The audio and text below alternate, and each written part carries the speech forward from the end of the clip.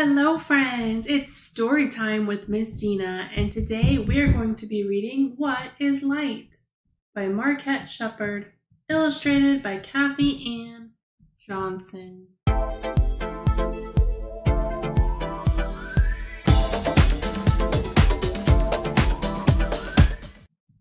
Remember, the author is the one that writes the words, and the illustrator is the one that draws the pictures.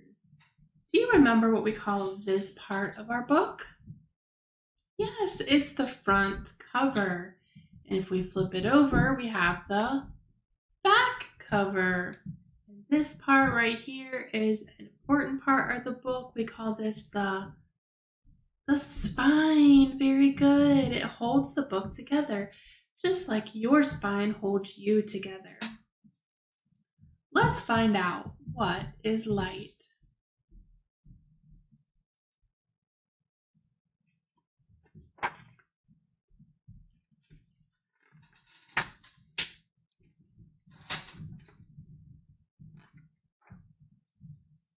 Light can be many things, such as the brightness our sun brings. She's outside playing with her jump rope.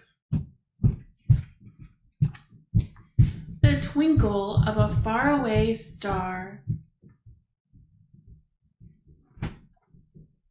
The buzzing of a firefly captured in a jar many of you like to catch fireflies? And then that feeling when you let it go, the spark in your eyes is like a glow.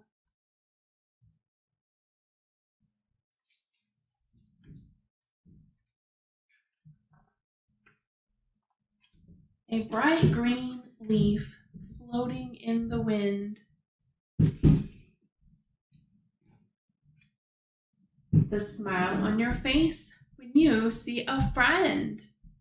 I bet your light your face shines just like a light when you see a friend. Oh, light can be so many things. A mother's love. she's hugging her baby. I like hugs. Do you like hugs?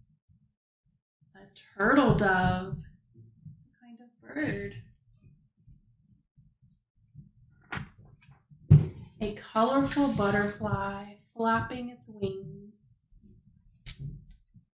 Reminds me of the spring. I'm ready for spring. What is the light that can be seen around you? It can be found in everything you do. And especially inside of you.